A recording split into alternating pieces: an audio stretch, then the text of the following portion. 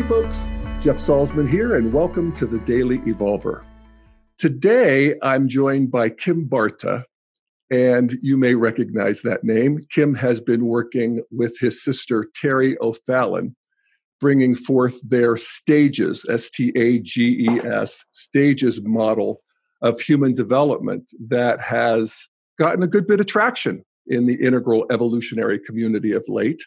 And so I'm happy to have him with us. Hey, Kim. Hi, Jeff. Nice to be here. It's so great. I really appreciate that you invited us, invited me here to talk, and I'm really excited to be on your program. So, Kim, you and I, we've spent exactly one weekend together. That's right. Several years ago, mm-hmm. when you and Terri came to the Boulder Integral Center that I was mm-hmm. running and uh, presented a, I think, three day workshop on the stages model. And I joined you. And mm-hmm uh, I really thought it was terrific. And I have been happy to see the success that you've been having with it since. You know, what I love about it is uh, kind of what I love about all of these developmental models. I, I'm not a scholar of them, I don't get necessarily all the fine points, but I get more space in my mm-hmm. consciousness you know mm-hmm. i i i grow I, I i you know, I get a deeper realization of this evolutionary procreate urge that I'm a product of. So I appreciate that. So, thank you. Yeah. So you're also a psychotherapist. And why don't you just give folks a little bit of your background so we know who we're talking to?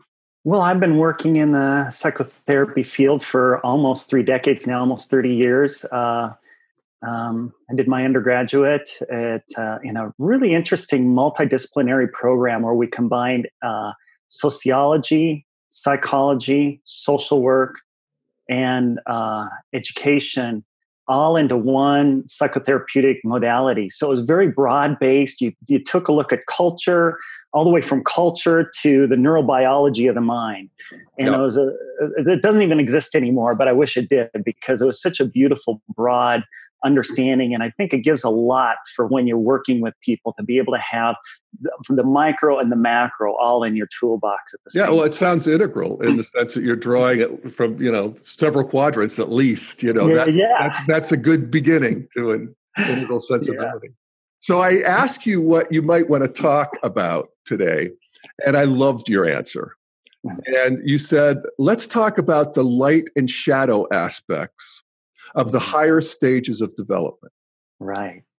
Yeah. And and I and and you know that's really intriguing to me because you know I'm all about looking at the light and shadow of these various stages and you know in the daily evolver we talk a lot about the you know the downside of red and the aggression and the selfishness and all of that and it, it, it, and traditionalism and and the soullessness of modernity and the how green post-modernity flattens everything out and has trouble with truth claims and hierarchy and all of that stuff but i still have this basic sort of naive belief that once we get into the integral stages that it's just going to be nice it's, it's just going to be sweetness and light and i actually know that's not true but. I, I haven't really thought a lot about you know the the shadow side of of integral so and and on up. So mm-hmm. let, i guess let's just start with what do you mean by shadow and light? I, th- I think we all have an idea but let's just get your definition. So when we talk about the light when i talk about the light i'm talking about the shape of consciousness whether it be shadow or light. It's one consciousness, and the shape of consciousness in the light is where everything's open and resonating. And so you're being able to receive accurately and clearly and openly. You're being able to take action, agency with it. You're able to interact uh, with others in the universe in a very open manner. Uh, you're able to see that you are and it is you.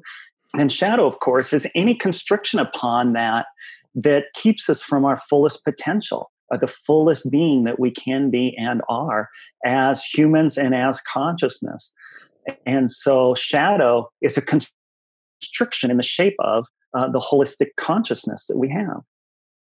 All right. So, as we uh, move into these higher stages, and actually, why don't we just take a look at your basic map of the higher stages because everybody slices and dices it a little differently, and so do you guys. Right.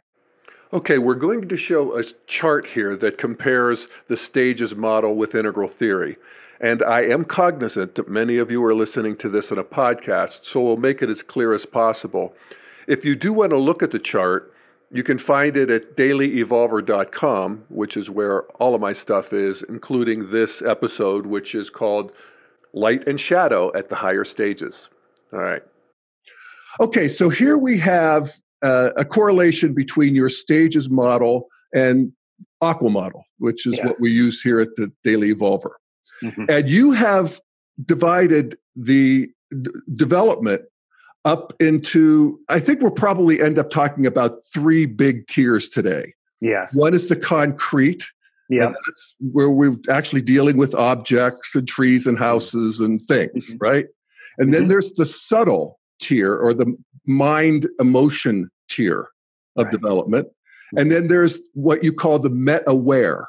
Mm-hmm. And that's moving up into becoming aware of awareness. That's right. right. Okay. All right. So those are the three tiers. Mm-hmm. And for those of you who are listening and not watching this, uh, what uh, the stages model says is that the four, first four stages of development in the AQAL model that is the archaic the magic the red magic mythic and then the amber mythic or traditionalism all of those, those first four big stages in the AQAL model are all in the concrete tier. Right, Kim? Mm-hmm. That's right. That's right. Okay. So then amber actually spills over, or the, mm-hmm. the, the, the, traditional spills over into the subtle tier. Mm-hmm. Uh, mm-hmm. uh, and, and then, so we have the, the the rest of traditionalism is up there, and that's where it's the the world of the mind and emotions. Mm-hmm. And then we have orange rational or modernity, mm-hmm. green pluralism, and teal holistic. And mm-hmm. all four of those are in what you call the subtle tier. That's right. Okay. And so where we are, those of us who are listening and watching and creating the Daily Evolver, is we're somewhere, you know, we, we, we're knee deep in orange rational modernity, we're waist deep in pluralistic mm-hmm. and green.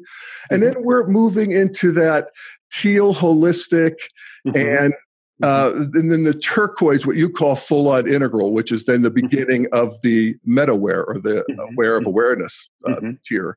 Uh, yeah. Uh, and so this is the territory that I want to look at today. All right. Because this is where most of us are. Mm-hmm. All right. So Perfect. I think you could unshare that and tell us about it. All right. So when we move into uh, third person perspective, we're actually entering a new type of world, uh, third person. And see, that's what uh, our now, numbers. When you, when you say third person perspective, wh- which of these tiers are we talking about? Yeah.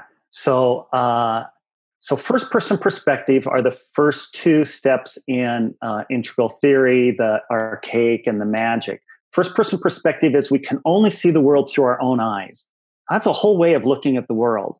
We don't see what other people are seeing. We only see what we're seeing. Right. We only want what we want. Right. Second person perspective, we see what we can see and we also can see what the other person can see. In a sense, we can right. imagine that they're looking back at us, seeing our face. At first person perspective, we don't get that. Right. Second person and, perspective. And, that, and that's a classic move of development in childhood. Absolutely. And, and, and we call it the move between egocentric and ethnocentric, where, you know, yeah. we, we could take the perspective of the other. And this right. gets us up into what? The tr- traditionalism, amber. Mm-hmm.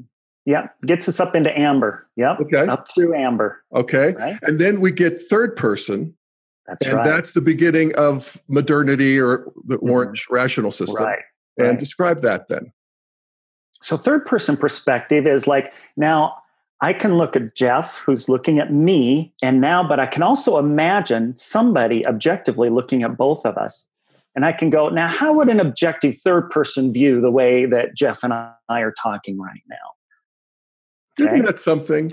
I mean, isn't, isn't that amazing what the mind can do? Yeah, and, and what how development comes online. But yeah. the ability to see your own perspective, another perspective, and then the perspective of somebody looking at you dealing with another person. I know. Isn't that amazing?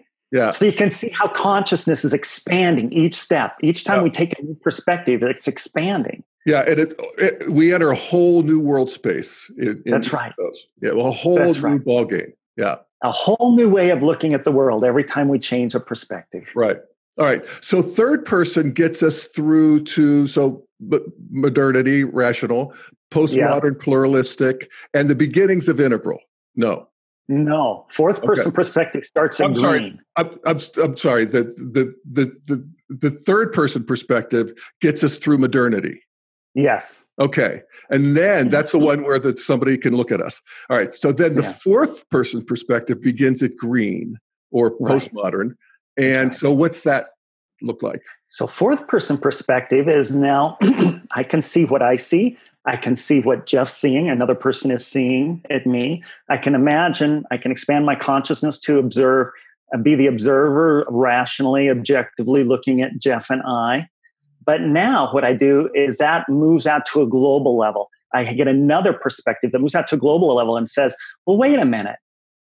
Jeff might be raised in a different family than Kim. He might be looking at similar things, but seeing them in a different way because of the context he was raised in, by the context that Kim was raised in, by the context that a Chinese person who is sitting here objectively observing Jeff and Kim is going to objectively, quote unquote, observe it differently than somebody from India, from Russia. And so all of a sudden you're taking a global view.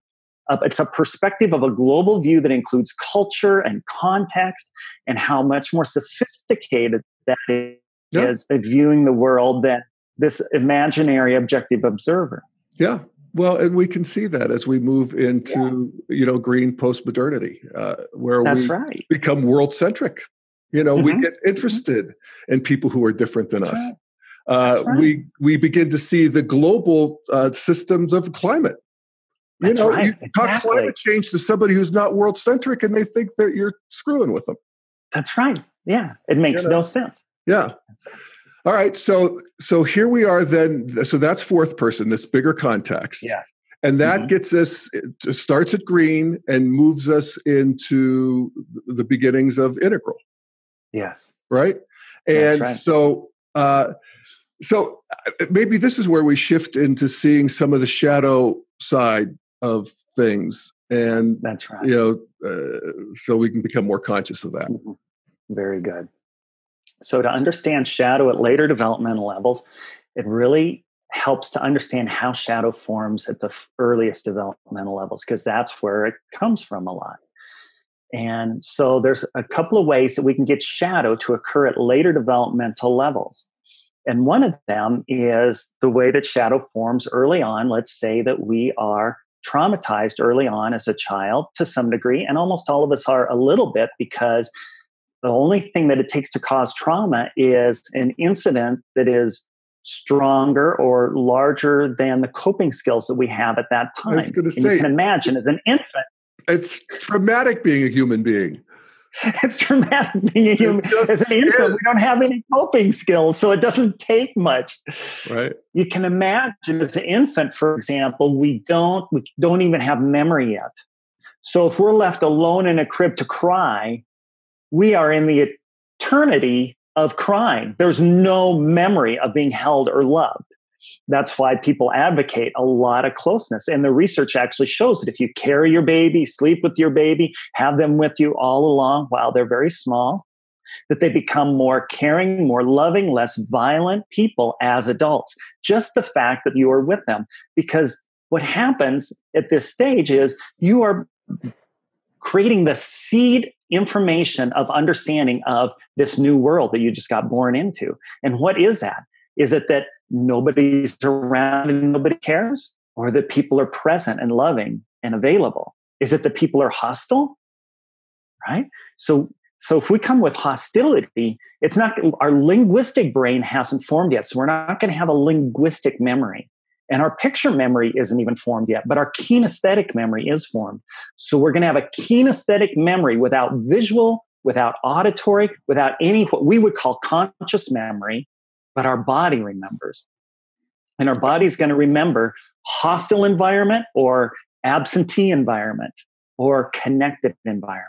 And this is what you would call the shadow or the beginnings of the shadow? This is the beginning of shadow right there. Right. Okay. So that's the beginning of shadow for that little child. For the infant inside all yeah, of us. I'm that's right. little child. But anyway. Yeah. yeah. Right. So now, then so then lead us through how that continues to form okay. and, and at the higher stages. Right. So there's two real key well there's there's three ways you can get shadow at higher stages, and I'm going to go through two of them right now. We can go through the third one later. The first one is let's say we have hostility as an infant or a toddler, and it's beyond our coping skills. So, what we do is it's so intense that we just block it out of our memory. That's walling off shadow. That's if you think about our bodies, Jeff, that uh, if you get an infection in your thumb, that it walls it off Otherwise, you get gangrene all the way in your system and your body dies. You're dead. So, walling off is a crucially important and valuable thing that your body does so that you survive injuries. But what happens is it does just, just leave it walled off. What it does is it rallies the immune system and then it comes back in and it heals the infection. So it walls off, rallies the immune system, comes back in and heals. And this is the same thing that's happening in our psychology is we have a trauma that's too big for us to cope with. We wall it off and then we go through our life and hopefully get healthy and strong enough that we are at some point ready to come back and heal it. And often that doesn't occur until we're at fourth person perspective, 20, right. 30 years later. Right. Yeah. And and that is if you look evolutionarily that move into green postmodern pluralistic that's also the world of we get really fascinated with our interiors. And that's, that's right. the beginning of psychotherapy. And exactly. that whole exploration that that's has right. been so fruitful for so many of us. So beautiful and so wonderful. And that's the beauty and gift that we have at 4.0 is to be able to really look at those interiors and go rescue the pieces that have been walled off, the children that have been walled off in the dungeon, the, the walled off sections of ourselves. But what happens in the meantime is this walled off section just isn't benignly there walled off because what it is in psychology is an ego state. An ego state is a sub state of the personality. It's got thought, it's got emotion, it's got impulse, and it's got all these thoughts, emotions, and impulse, the a mini persona inside our own persona. And you can kind of imagine that we've walled it off in some kind of a dungeon or something, or We've put it in its bedroom where we don't have to look at it because we don't want to deal with it. and then we run along and create all these wonderful plans in our life. You know, we go on a diet or we create a business plan. And then at some point, every ego state has circadian rhythms. We go to sleep. And when we go to sleep, guess who comes out to play? This other ego state. So you might notice in your life, Jeff, or anybody listening, it certainly has happened to me, that you make all the greatest plans in the world, you know, go on a diet, and then all of a sudden you're eating a plate of brownies. You have a great business plan, and all of a sudden you find yourself binge watching Netflix because you really don't want to work on it anymore. You have these um, self sabotaging experiences. And so we wonder why are we self sabotaging ourselves? Well, it's not the dominant ego state. You can't find the answer in the dominant ego state. The answer for self sabotage is in the shadow. It's in the walled off ego states that as soon as you go to sleep, they sneak out of the bedroom and start running the show. And then we get horrified by it and we try to shove it back in the bedroom so that it can't be seen. And then we run the show and try to make it all okay again. And then we go to sleep, and sure enough, it comes out again. Mm-hmm. So what do we do with it? How, how do we work with this? okay, so one of the beautiful things about fourth person perspective is we stop trying to suppress it and we start trying to get to know it. Remember the eh, the good old 4.0. Every every truth is relative. We everybody gets to show. It's like the round table, the knights at the round table. Everybody gets to sit down at the round table, put down their swords, and we're going to talk. And that's the beautiful aspect of 4.0 is we start saying, hey, every ego state has a right to its own voice, its own experience. And what we're really looking at is deep intimacy. We want intimacy with others between you and me. And that's what's beautiful. But we also want interior intimacy. So that's where we start bringing out the ego states that have been blocked away, walled off, hidden away. And we start saying, hey, I want to get to know you. Mm-hmm. We get to know each one in a non judgmental, unconditionally accepting environment. We get to know each one. Even the sniveling little fear freak? Even the sniveling little fear freak, even the controlling, dominant bully, all of the different ones that have been shoved off into the yeah. The one with the bottomless pit that can never be filled? That can never be filled. That's right. And the reason it has a bottomless pit is it's walled off. Yeah. Yeah. And actually, once you don't wall it off anymore, the bottomless pit, pit disappears because yeah. it's a child that's being carried with you every moment. Yeah.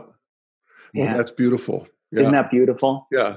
And it's and so, it's really one of the things that is, I think, so uh, such a marker of integral consciousness is mm-hmm. that we begin to want to turn towards our pain. Yeah. Yeah. Instead of away from it. So we don't want to drink it away. We don't want to take a pill. We don't want to pray it away. We what we, we want to actually encounter it. Mm-hmm. And it turns out that that's our entree into the next thing. That's know? right. Yeah. That's the beautiful move into 4.0 as we start turning towards, we want to heal. And so now, if you take a look at meditation, for example, uh, a classic meditation is have a thought and let it go, have a thought and let it go, have a thought and let it go, and I eventually get to a quiet mind. But it's a meditative quiet mind, and it's usually not very stable. Why? Because that's actually a style of suppression. Now I'm going to get in trouble with that, right? There's going to be a lot of people upset with me for though. saying that. But that's what happens because at 4.0, we turn that meditation around. We go, there's a thought, let me get to know it. There's a yeah. feeling, let me get to know it. Yeah. And then when I get to know it, then what happens is I have this intimate connection. And, and now that I can get to know it, instead of it being walled off and pushed away, it's, it's, I can create a community that works cooperatively together in a yeah. beautiful way. So what happens is the self-sabotaging starts going away because everybody's now working together on the same team. Yeah. And you could do that psychotherapeutically. Uh, yes. By literally bringing these voices to the table and saying, welcome. And that's right. And letting exactly them speak you, through your own mouth and, you know, all of that that's right. good stuff. That, that's, that's right. It's so powerful yeah. for me. Uh, yeah. Is there anything else you would, you know, I, I mean, I could, I can also think of how we can work with those things meditatively in the sense that we can yes. just meditatively become ever more aware of that emotion and feel and that's what I in our body. Yeah. Yeah. Yeah. Yeah. That's what I encourage my people to do is now now when I say have a thought and let it go, I'm not saying that's a bad meditation. That's a great meditation because at third person perspective, you need to have that control of mind. Yes. So I'm not saying that's bad. That's very important step but it's one step it's not the end step. Yeah. So we need to be able to have a thought and let it go have a thought and let it go have an emotion let it go have an impulse and let it go. We need to do it the whole way through not just a thought. And then but what then what we do at fourth person perspective we would turn it around and go i have a thought let me get to know it. I have an emotion let me get to know it. I have an impulse let me get to know it. Yeah. And then as we get to know it we can work cooperatively. And at 4.5 what happens is is we have a couple different things going on. One was we divide, design these beautiful systems of how everything works together. And the other thing is we do is we start integrating them, not just cooperatively working together, but actually integrating them into one consciousness. It's a whole nother step in the evolution of shadow resolution. And this is what you would refer to as turquoise.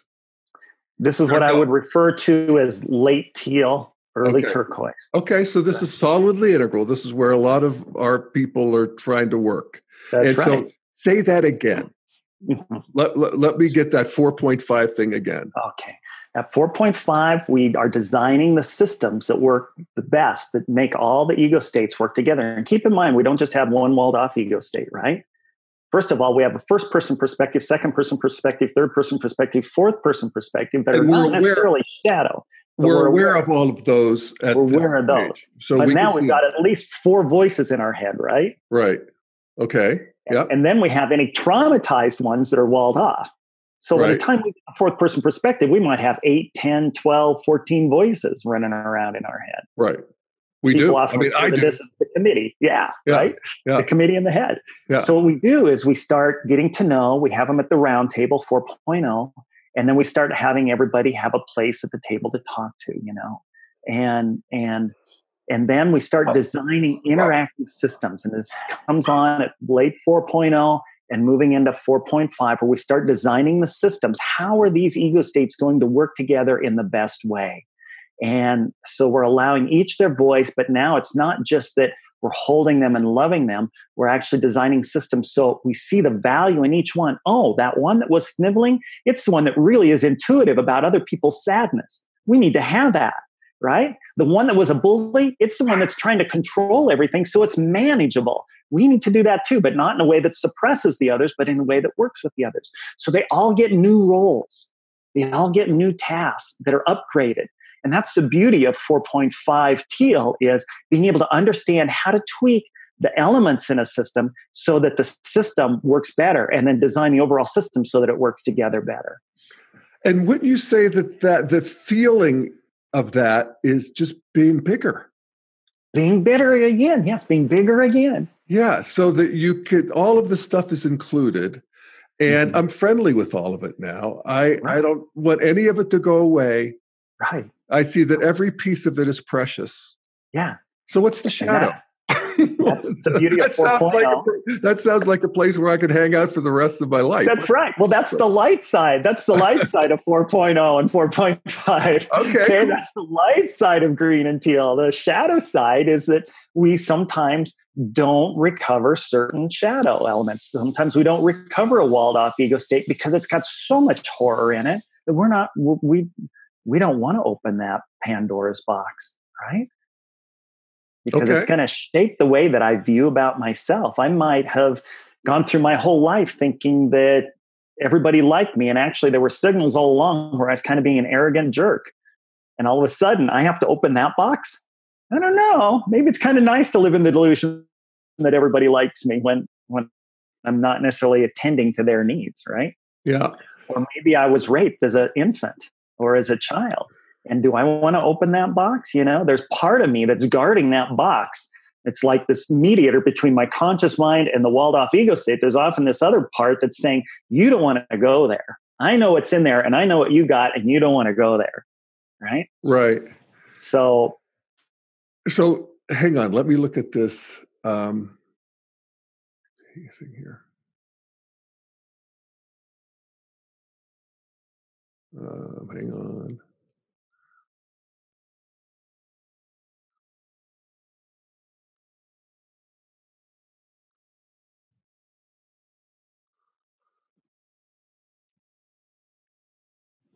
All right.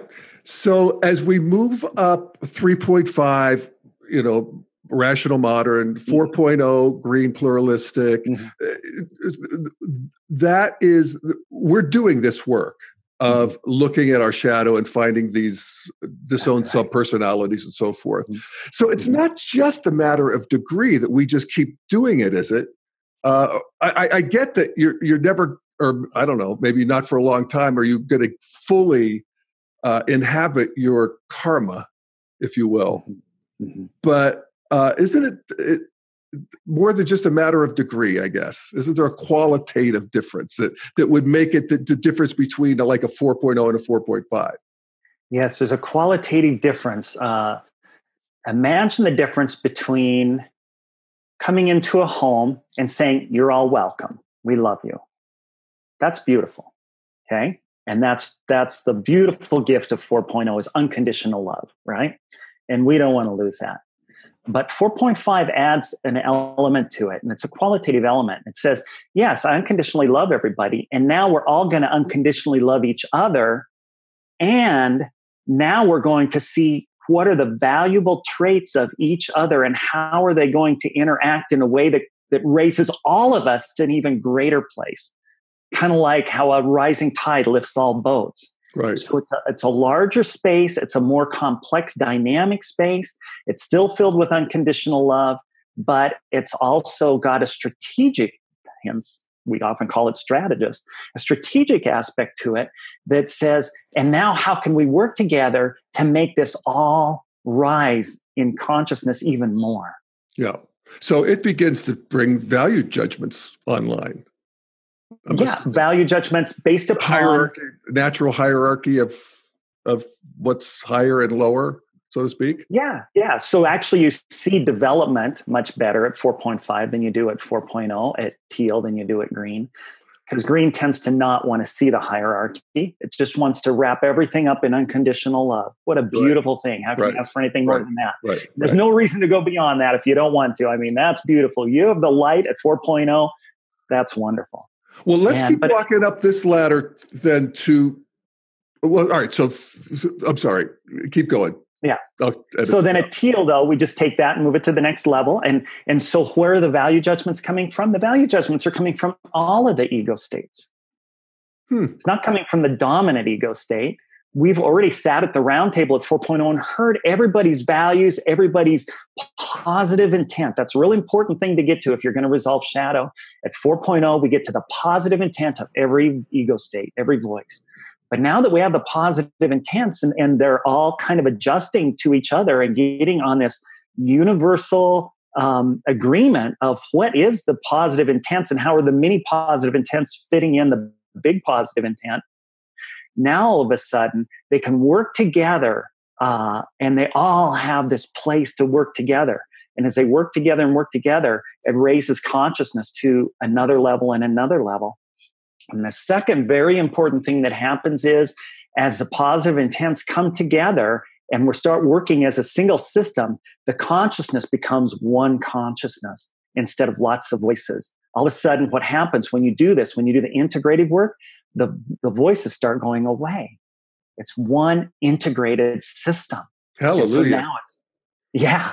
And that's got a level of peace, a level of quiet mind that is yeah. unbelievable. And it's sustainable. It's much more sustainable, you know? So at, at 3.5, we did the have a thought, let it go, have a thought, let it go, and you get to quiet mind. But then you get off the pillow and you got thoughts and all these things that interrupt you.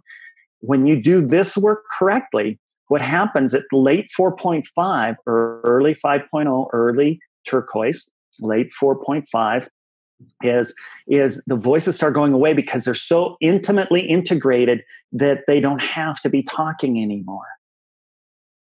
And so all of a sudden what happens is the mind goes quiet and you just walk around in quiet mind everywhere you go now i'm not saying that i've done this perfectly because every once in a while you have one but your general way of walking through life if you do this work is you just walk around in quiet mind and yeah. it's absolutely beautiful yeah uh, uh, you know, as I sort of think about this and, uh, and evaluate myself and my own sort of place in this, I know what you're talking about for sure.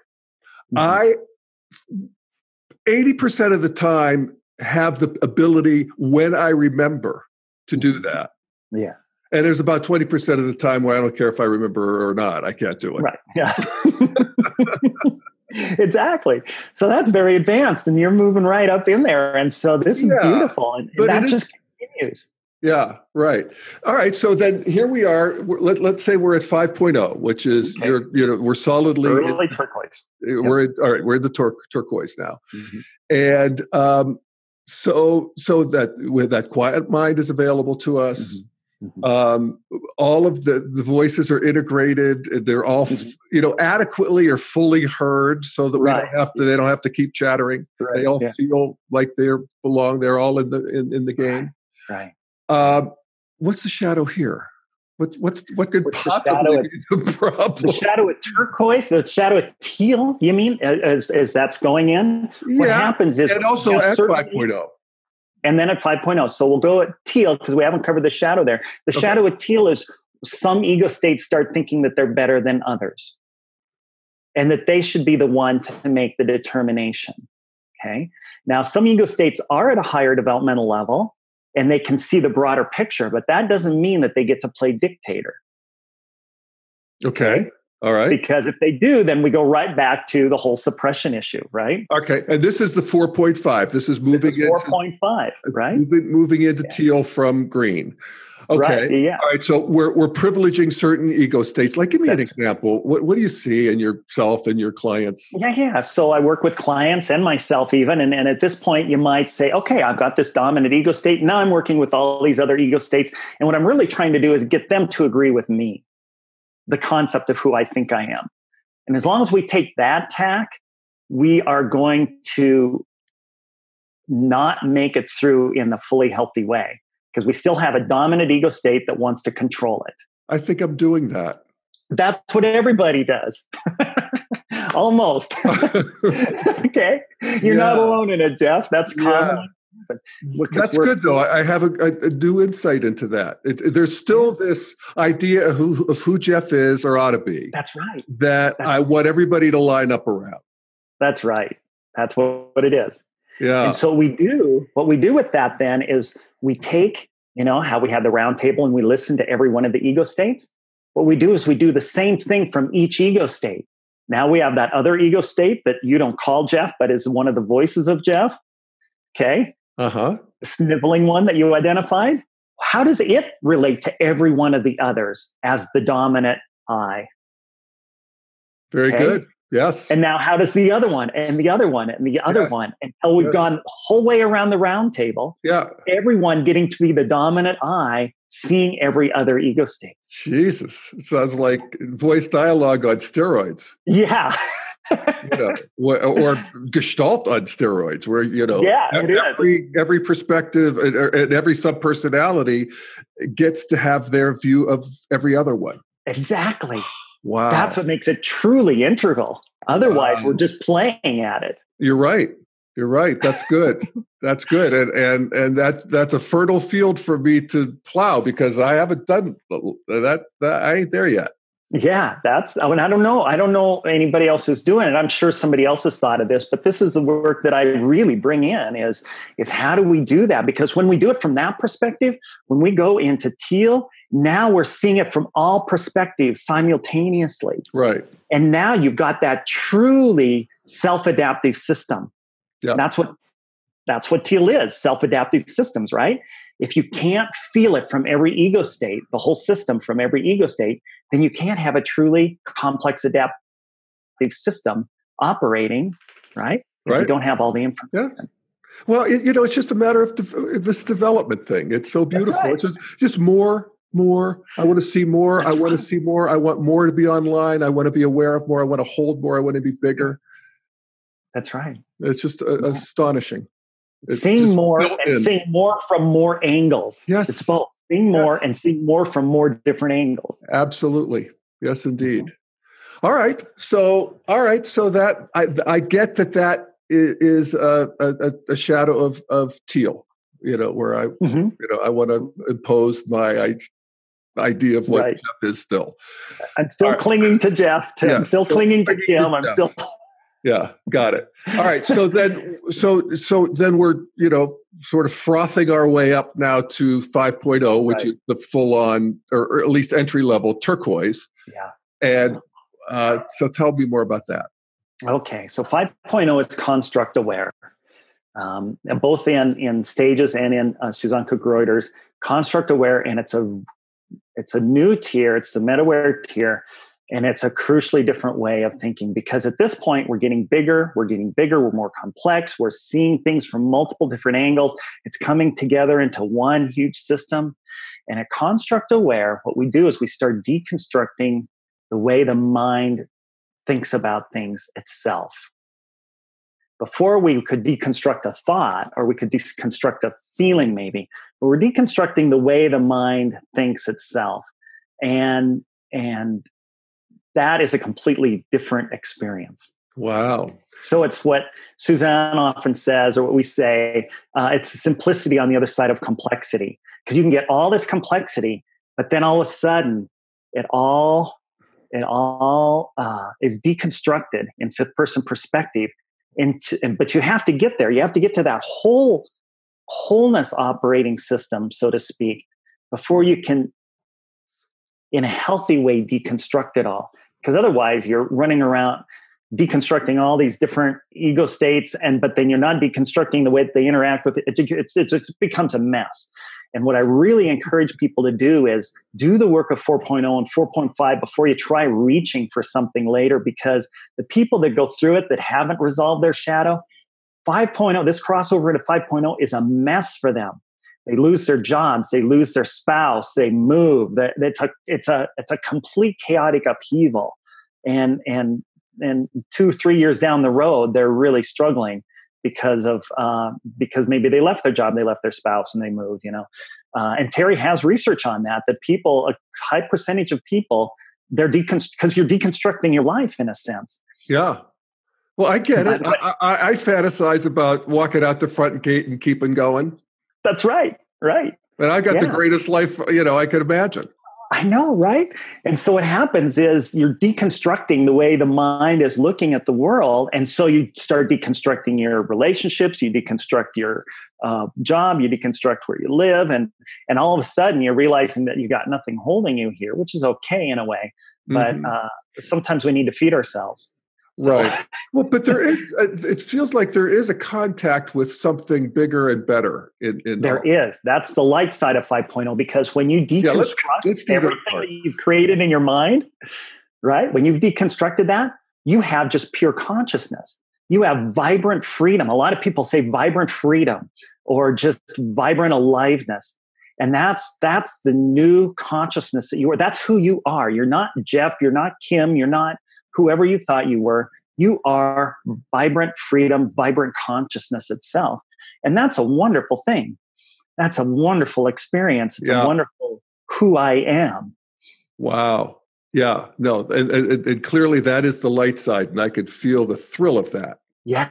You know, yeah. and you're right. It is. A, it's a simplicity beyond complexity because yeah. you know all, we're all played with all our systems of systems, and right, right, right. right. Did it, and, the, the, and then all of a sudden it relaxes and That's we right. find ourselves floating on a new in a new space and and, and this is literally a new space you're calling it the uh, uh, the next tier the, the tier the above tier. Uh, the right. tier above subtle subtle is the mind and emotional tiers which gets us right. previously up to 4.5 yeah. and now we're in the metaware that's right call, which is the where awareness itself is That's sort of the game that's right it's just pure awareness and yeah. now we're just observing awareness of what is the world like it's pure awareness. It's not filled with persona, personality, thoughts, uh, attachments, all of these things. What is that experience like? And that's where it just becomes incredibly vast. So you're talking about consciousness expanding and expanding, but you can only expand with complexity so far because complexity itself, right? yeah, it's too complex. It's too complex. yeah, it bogs down, it gets gummy. That's right. That's exactly what happens. And that's exactly what happens at 2.5, the conformist level. And this is a beautiful thing about stages because the top of the concrete tier has similarities to top of the subtle tier. What happens at the top of the concrete tier? Bureaucracy. And bureaucracy gets just gets muddled down. You get so much bureaucracy that it becomes dysfunctional.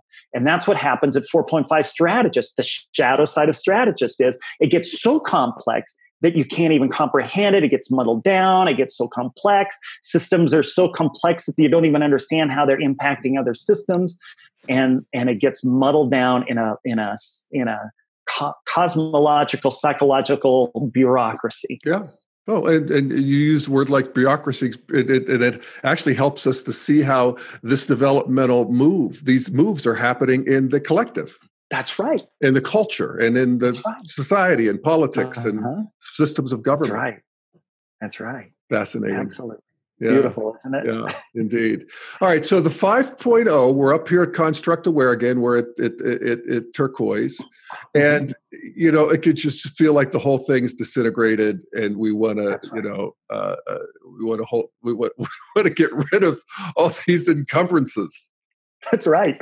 We want to get rid of them, and yet that's a very scary thing. Yeah. Imagine letting go of all of that. Everything that you've thought about who you are, everything that you've made up your life about, you know, to realize that that's all part of the movie theater. I mean, really get it, not just go, okay, yeah, this is a movie theater, yeah. but to live in that space of seeing it as a movie theater right. and and how how disorienting that is to you as an individual because you have nothing to pin who you are on anymore. Right. So yeah. the shadow side here is just sort of the naive acting out of this. One of the Something shadow like sides that. is the uh, absolute fear of going into it.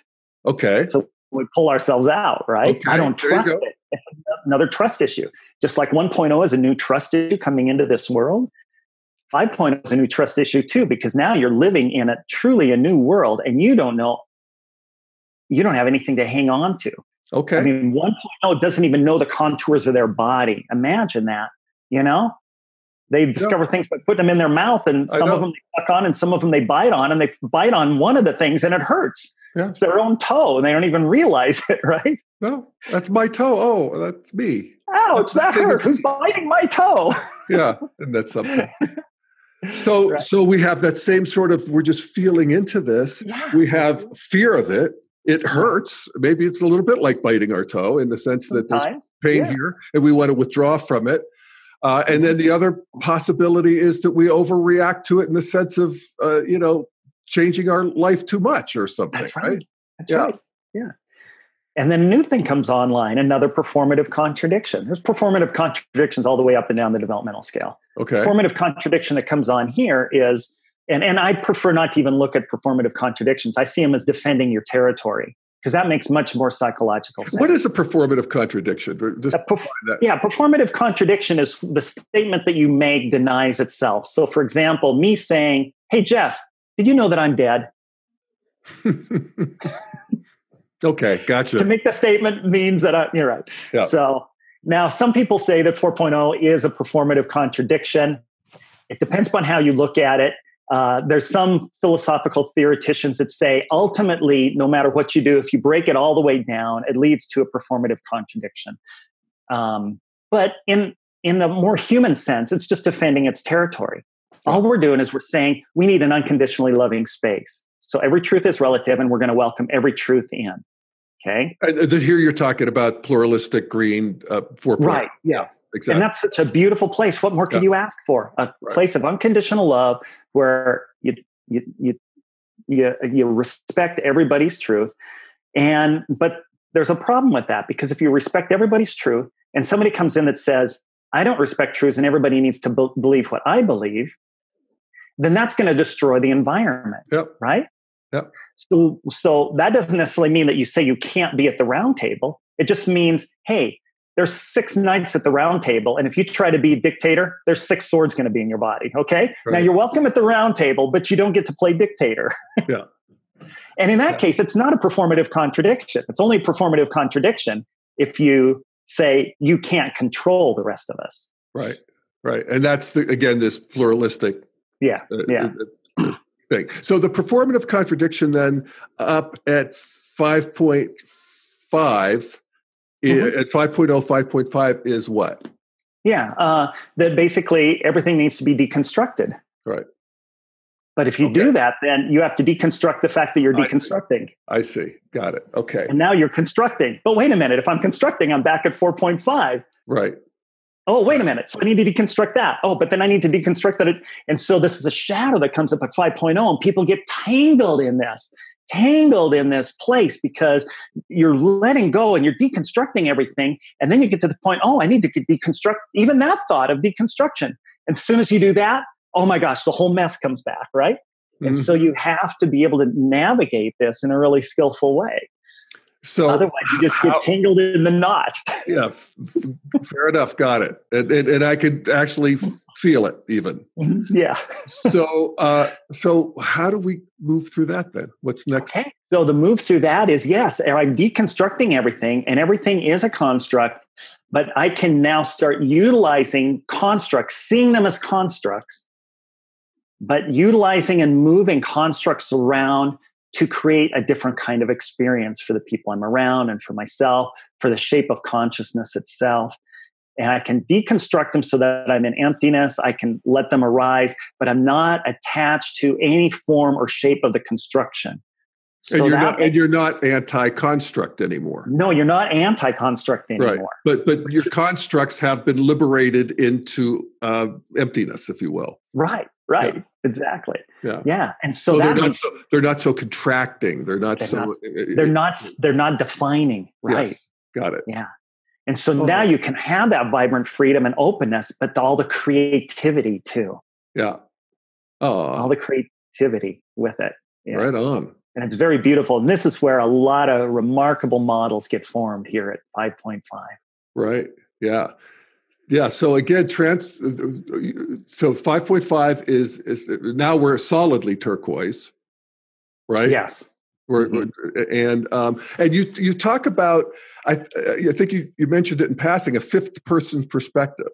Yes. And so, so we know what you know, first, second, third. The fourth person perspective is the pluralistic green, where we get the context, we get the world centric view. Mm-hmm. What's fifth person perspective? So, fifth person perspective is that under, being able to see the constructs. Okay. So, first person perspective, I can see me. Second person perspective, I can see you seeing me, and I can see you what you're seeing. Third person perspective, the objective. Fourth person perspective, all three of those are in a context, and that context shape the way they think, feel, think, feel, and believe, and, and observe, even objectively. And now, at fifth person perspective, we bring on, and all of this is a construct of the mind. Okay. I can step into the construct of the mind, but I can step out of it and view it from that perspective uh, too. Yeah. And and and yeah. it, just to use some of the lingo I use, egocentric to ethnocentric to world centric. We're moving in now into a cosmocentric view. Yes, we're seeing uh, it can be. The it can be the uh, you know the way I would describe that is we are aware of the animating energetics of the cosmos and mm-hmm. one of which is the just the, the evolutionary move itself just this yeah. Yeah. Procreate urge as whitman would say right. so yeah. so Beautiful. what's your sort of sticky uh, uh, hang up with that or what what what part of that is or how or how would you maybe define it further well a lot of times we explore cosmocentric experiences but we're actually in fourth person perspective so, for example, what we do then is we actually zoom out from a global perspective and we zoom out even further into outer space and we kind of view it from a from a cosmic place. And that's a type of cosmocentric experience yeah. too. Yeah. But it still contains the constructs of earth human yeah. culture right, right? yeah. I, I, might say that that's a cosmocentric in the exteriors. Yeah and there's this cosmocentric in the interiors where you're just feeling the winds of karma and history and you know that sort of thing. But those are even constructs. Yeah i guess so huh? Yeah. So we can get cosmic that's what i'm saying we can get cosmic centered orientations at fourth person perspective but it's not the same as cosmocentric at fifth person perspective all right, cool. Because because you're free of the constructs and you're seeing it from from that perspective. So. Right. Well, I think I think we're over my pay grade at this point. but keep going, Kim. I mean, I know you you and Terri and others have mapped this out. Mm-hmm. Uh, you know, and I and the maps get a little more tenuous as we go because right. there's fewer people. Yeah. Uh, but you've done real research here, and and what do you what are you seeing about what is you know, well, Terri's on the end of the research. I'm on the end of experiential and working with people that are moving through these developmental levels and working with myself as I move through these developmental levels. So I want to back off from from the from it is research and it is got great statistics behind it, by the way. But um, I, I'm going to leave that part for Terri to talk about because she knows the nuances of the statistics, and I don't want to get some of those wrong.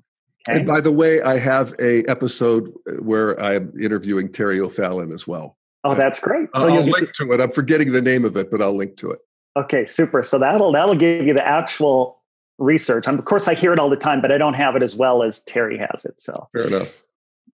but still, can you give us just you know an, an impression of what happens after this 5.0 5.5 thing. Yeah so or any more that, any more that you got to say about the 5.0 and 5.5 too yeah because I mean, we haven't gone into the shadow of 5.5 yet. Well there oh for god's sakes well let's do it.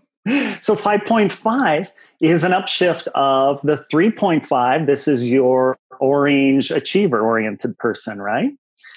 And what do we know? We see similar issues at 5.5 we see people striving single-minded striving. They want their projects. They want their their their unique take on their models. They uh, they don't want anybody else to mess with them. They uh, they see the world in in hierarchy in nested hierarchy. So you might see the world like nested dolls for example and you see worlds within worlds within worlds within worlds. And that's a it's a beautiful thing. It's just that you think that every time you enter a new world you've entered a new developmental level. And so this is where you can start putting yourself up at extremely high levels fairly rapidly because once you start understanding how to how to expand from one world to another world into a larger world into a larger world, you can get really good at that process and just keep going. And it feels the same way like you're moving to a new developmental level. But you're actually what? Climbing the corporate ladder of consciousness. oh, I sort of uh, uh, resonate with that a little bit. Yeah. Yeah. Yeah. and so, so, um, so what happens is notice the shift between 3.5 and 4.0 because this is a similar shift between uh, 5.5 and 6.0. The shift is I'm climbing the corporate ladder, but all of a sudden I'm not paying attention to everybody else's thoughts, feelings, emotions. I'm not paying attention to the internal thoughts, feelings, and emotions, right? And now we have mm-hmm. to start bringing all of them in. Well, a similar thing happens. We start seeing, instead of seeing the world as nested uh, Russian dolls, we start seeing it as vast networks of consciousness. And so we start seeing the neural network of consciousness itself vastly externally in the cosmos and in, inside our own minds. And, and that's a whole different world of that's the next developmental level. Not just I can enter a new, bigger nested doll, right? But to actually see the neural network occurring mm-hmm. yeah. in consciousness. Wow. And, and, and in the universe, you know, wow. externally and internally. It's beautiful place. Wow. So I uh, I I could get to some degree this idea that okay, I got my project, I've got my calling, I've got my voice, and I want to do right. it just my way. It's what I'm doing here. That's right. Yeah, uh, yeah. So, so, but I do find that to be kind of um, there's something about it that's still too mm-hmm. solid, or there's something about it that that is unsatisfying. And so, mm-hmm. the the the next thing would be to open up to this bigger neural network of Describe it again, Kim. Yeah. Neural network of consciousness, just the way the neural network of consciousness occurs internally and externally. Actually, internal and external really are falling away. We can have internal and external fall away in a meditative state much earlier, but this is in a, in a very vast way. And and you're uh, observing, feeling, experiencing, and your new I is the neural network of consciousness. It's not just a new larger perspective, a new larger nested doll. It's got mm-hmm. the complexity, you know. Think about systems dynamics at 4.5, early 4. Point, uh, late 4.0. You start seeing this complex, adaptive neural network of consciousness systems. And this this collective has got nothing to do with human collectives, by the way. Now, with got this to do with well, go on. I can include it. Of course, includes human systems and, and consciousness, but it's much more vast than that. Right.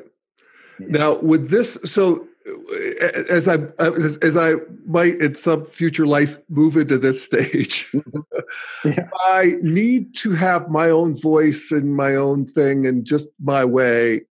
What relaxes, or it, mm-hmm. I I drop that, or mm-hmm. I mm-hmm. trust mm-hmm. this bigger system, or mm-hmm. what? Yeah. Something like yeah. that right? That's that's that's similar to what happens so for example one of the mystical things that can happen from the 4.5 to the 5.0 shift if you think of it in terms of let's take a christian tradition for example. Uh, there is no god then i have the power gods you know not necessarily christian any just about any religion actually. There are no gods and I'm the power gods and then i conform to the power gods I, because they're the ones that have power. It's not like they're supposed to help me, I'm supposed to help them, right? And then at third person perspective, what happens we start feeling God come into ourselves, you know, and at 4.0, that deepens in a very beautiful way. And the 5.0, my consciousness actually goes up into the divine, goes the other way. So now my consciousness is in the divine. The divine isn't in me. I mean, it's both ways, but it's it's it goes up into the divine. Okay. And so then if you go up into the divine on a mystical level, and then you move into 5.5 where you start seeing all the nested dolls and all the different universes and things like that. Then at 6.0, you start realizing, remember where I said you have to see at 4.0, you want to sit at the round table and view it from every ego state's perspective. That's what happens at 6.0. You start seeing consciousness from every other perspective of consciousness. And as you get good at that, you start seeing it simultaneously from all the different points of consciousness. Wow. That's And pretty that- cool. Yeah. And, and that's, you're talking about that being up at 6.0, which, yeah. And that's why I teach 4.0 this way. Because I learned that you've got to be able to do that to be healthy at 6.0. So, what you need to do at 4.0 is to start training that right and- now. Remind me what it is that you do at 4.0? The, 4.0, remember, you sit at the round table, but it's not just dominant ego that Right. you have to see the whole round table from. You have to do it from each ego state. How it. does each ego state view the round table? Okay, so then ratcheting up to 6.0, you're doing the same thing with consciousness itself, Consciousness itself and different points of consciousness. right? And so this is uh, transpersonal. This becomes Oh, this is beyond transpersonal. okay. Yeah, well, it is transpersonal. I shouldn't say beyond transpersonal, but transpersonal is considered 5.5. Okay, and, And that's where we i- identify. uh, Transpersonal is when we begin to identify with something beyond my Jeffness. Actually, even at 5.0, we start doing that. But at Right. 5.5, that's when we really get into it. Yes. stable with that. All right, cool. And then, so then moving into 6.0, I see that you call it universal, Yeah. and then 6.5 is illuminated. Mhm, mhm. And this this is basically, uh, uh, you know, uh, the, these high spiritual states that I read about occasionally, Mhm. right? Yeah. And, and, and well, I, I don't want to use the term spiritual. We call them developmental Yeah, stages. right, right? on, right on, as you should. And of course, you can get states when you don't have the stage, but these are Yeah. developmental stages that people often call spiritual. Yes. Yeah. Well, and that that actually gets to another interesting thing about integral theory is that uh, states become stages, as we say, and so w- we can have states of this unit of consciousness, Yeah. and sometimes we do just Right. out of the blue. You know, we're walking Right. on a path, that all of a sudden the world is stage lit. You know, Right. and, Yeah. and and it's not about us and we're you know this the whole thing and but that's temporary that those things come and go and Yeah. when you get to these this uh, universal and illuminated stage it's kind of like that stably apparently Mhm. so they say Mhm. yeah, More stable. yeah, fair- no got it yeah I mean, you can walk around in it pretty regularly, but of course, shadow pulls you out. Historical shadow pulls you out, right? so so we have a shadow up there too oh please Of course, because what happens is any shadow that hasn't been resolved at 4.0 and 4.5, it'll it'll haunt you until you deal with it, right? right So you might have dealt with enough shadow to get there, but I mean, you're dealing with much more refined things all the time as you move up. So if, if you come back to like 4.5, for example, remember where I said you should start getting that quiet mind? I want you to imagine that. Remember a time when you were in a room and somebody turned all the lights out and it was really dark and you couldn't see anything? But then after, and you could wave your hand in front of your face and you couldn't see it. But then after a few minutes, you could start seeing your hand, right? Hmm Well, that's what happens when we get to quiet mind is in the emptiness, in the quietness, what happens is substance comes out of that. Uh, out of the out of that, we start seeing more refined things that we couldn't hear before, more, more refined things that we couldn't see before, more refined things we couldn't feel before, because the theater of life was too dramatic, right? hmm And once the theater of life falls away, you are so quiet and so calm that at first it just feels like a, a- absolute emptiness in a way. And then you start seeing and feeling these more refined experiences.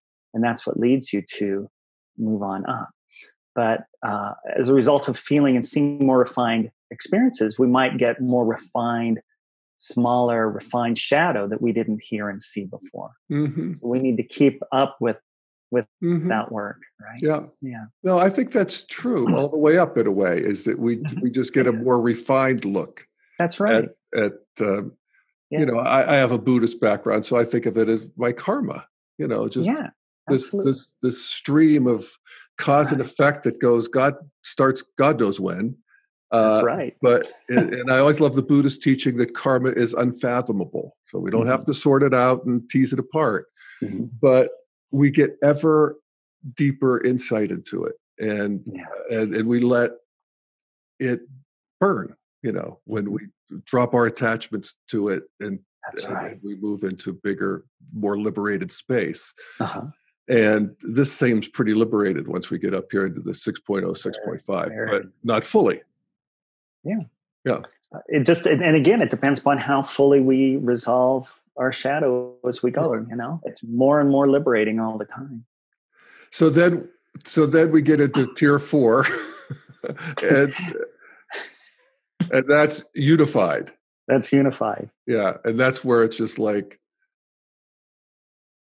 I don't know what and I don't know either. I I think I'm starting to get states there. Maybe I don't know, uh, but I I'm not an authority on it. All right. So well, I'm actually, even if you think you Kim Barta think that you might be getting states there, what's the quality of it? Uh, we, we won't hold you to it, but how do you know? Again, it's another strange simplicity on the other side of complexity. So you got all these neural networks, right? What happens is there's there's a falling away of all that into another deeper level of of simplicity, but I don't have enough to really talk about it yet. Yeah. I well, just you know, noticed that it's very different from what I've been doing. Right. Interesting. Uh, you know, the Buddhists talk about the higher stages as being a cessation. Yeah. Yeah. You know, maybe it's something like that. Mm-hmm. Just things stop being. Yeah. It's a, it's uh, definitely a yeah. I I don't have language well for it yet, yeah. so I don't feel like I can serve anybody yeah. talk about it. Yeah. Yeah. And that's where well, we all have to be honest with ourselves where we're at, right? yeah. Well, it's it's fascinating to conjecture uh, mm-hmm. of what uh, is yeah.